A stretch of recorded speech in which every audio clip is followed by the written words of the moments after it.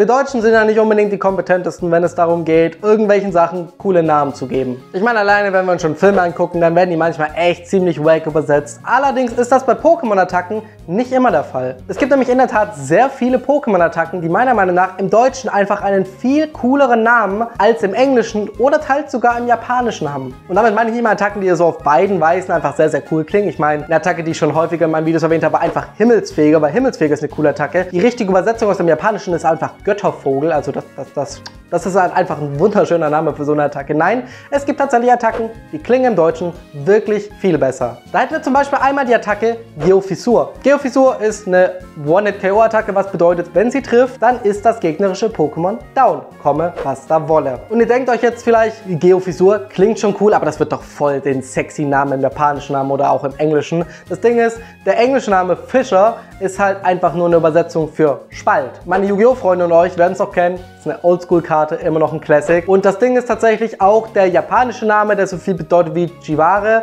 Ich kann kein Japanisch, es tut mir leid, wenn ich das voll falsch ausgesprochen habe. Heißt aber auch so viel übersetzt wie Risse im Boden. Und auch wenn das natürlich das gleiche ist, ich muss halt wirklich sagen, Geofissur klingt halt cooler als Spalt. Wie gesagt, ich möchte nichts gegen die Yu-Gi-Oh! Karte Spalt sagen, aber wenn ich die Wahl hätte, was Cooles wie Geofissur zu nennen oder ihm halt einfach nur den Namen Spalt zu geben, dann tendiere ich halt schon eher zur Geofissur. Eine weitere Attacke, die meiner Meinung nach im Deutschen einfach so viel cooler klingt und wo ich immer noch sagen muss, ich war überrascht, als ich damals erfahren habe, dass es die Attacke tatsächlich schon in Generation 1 gibt, ist Kaskade. Denn Fun Fact an der Stelle, Kaskade war tatsächlich in Generation 1 die Signature-Attacke von Golking. Ja, Kaskade gab es schon in Generation 1. Hatte noch nicht den Effekt, dass es das gegnerische Pokémon zurückschrecken lassen kann, aber gab es in Generation 1. Und falls ihr wissen wollt, was eine Kaskade ist, das ist quasi so ein künstlich angelegter Wasserfall. Und das ist tatsächlich auch der englische Name, also Wasserfall. Das Ding heißt im Englischen einfach Waterfall. Und natürlich ergibt das Sinn, weil man die Attacke halt unter anderem benutzt, um einen Wasserfall hochzukommen. Das Ding ist aber, ich finde es irgendwie ein bisschen schwach, eine Attacke nur so einfach zu benennen.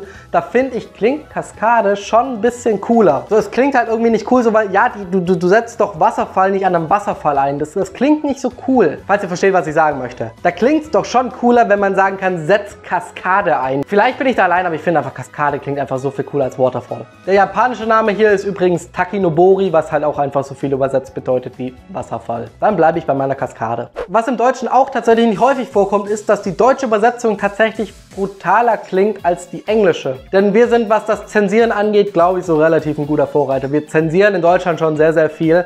Und ich verstehe es bei manchen Attacken definitiv, dass man die nicht unbedingt so brutal klingen lassen möchte. Es gibt allerdings die Attacke Überflutung. Ist einfach eine Attacke, die den Typen des gegnerischen Pokémon zu Wasser macht. Das heißt, egal ob du jetzt ein Glurak bist oder ein Pikachu, nach Überflutung hast du den Wassertypen. Der englische Name der Attacke ist Soak, was halt übersetzt so viel bedeutet wie einweichen. Und ich meine, ich kann es ja ein bisschen nachvollziehen, weil man quasi so, keine Ahnung, das gegnerische Pokémon einweicht, wodurch es zum Wassertypen wird. Aber einweichen als Attacke klingt irgendwie ein bisschen harmlos. Das, das hat was von mit einem Schwamm bewerfen und das finde ich irgendwie nicht so bedrohlich. Überflutung wiederum klingt halt echt bisschen brutal. Und ich muss auch sagen, das passt meiner Meinung nach so ein bisschen besser, denn wenn etwas überflutet wird, zum Beispiel Land, ist an dieser Stelle halt kein Land mehr, sondern dann ist das jetzt Wasser. Ich meine, es gibt genug Naturkatastrophen, wo es passiert ist, dass halt viele Gebiete überschwemmt wurden und da halt einfach Wasser war. Und das klingt halt schon ein bisschen brutal und ich will das natürlich gar nicht gut heißen, alles Gute. Aber ich muss halt trotzdem sagen, klingt Überflutung doch ein bisschen cooler als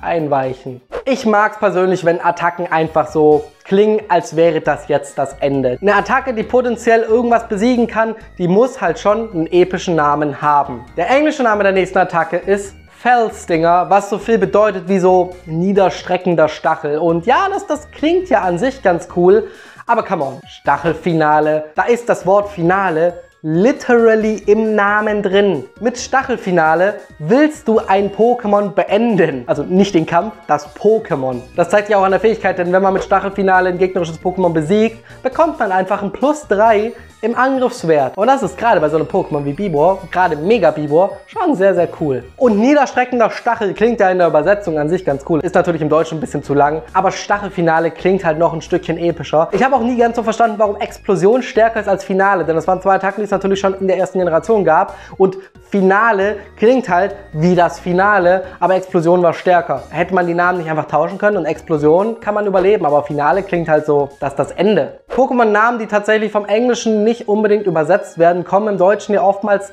gar nicht so gut an. So gibt es zum Beispiel die Attacke Body Press, die im Deutschen halt auch einfach Body Press heißt. Und das Ganze hat ja schon mit Flying Press, der Signature-Attacke damals von Wrestler angefangen. Dass halt einfach englische Namen einfach so straight genommen wurden und die auch einfach so im Deutschen verwendet wurden. Aber wisst ihr, was der richtige OG-Play ist, den wir Deutschen einfach machen können? Wir umgehen einfach die englische Übersetzung und nehmen uns einfach was ganz anderes daher. Denn der englische Name von der nächsten Attacke ist Light of Ruin. Das klingt ja an sich vielleicht ganz episch, aber wisst ihr, was wirklich episch klingt? Wenn man einfach zwei lateinische Wörter aneinander hängt und damit den Attackennamen macht und der klingt halt einfach Lux Calaminatis. Ich möchte nichts mit der Attacke zu tun haben, wenn die mich treffen sollte.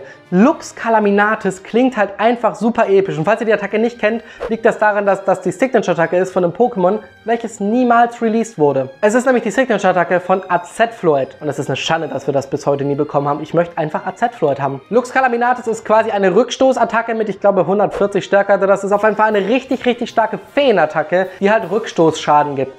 Aber Lux Calaminatis, was im Deutschen übersetzt so viel heißt wie Lichtschaden oder Schaden, den Licht anrichtet, so ein bisschen. Das klingt super nice. Okay, die nächste Attacke ist so ein bisschen eher eine Präferenz, wo ich tatsächlich sagen muss, ich finde, das klingt im Deutschen einfach ein bisschen cooler, weil da ist nochmal ein Fremdwort drin und ich mag das persönlich. Wir hatten nämlich einmal die Signature-Attacke von Magierna und das ist tatsächlich das Kanonenbouquet. Der englische Name ist nämlich Fleur Cannon, was halt Blumenkanone heißt. Lillimon lässt grüßen. Und versteht mich nicht falsch, Blumenkanone ist an sich echt ein cooler Name für eine Attacke. So jetzt mal wirklich. Ich hätte nicht unbedingt erwartet, dass das eine Feenattacke ist. Ich hätte bei Blumenkanone halt wirklich eher dran gedacht, dass es eventuell eine Pflanzenattacke ist, weil Blumen.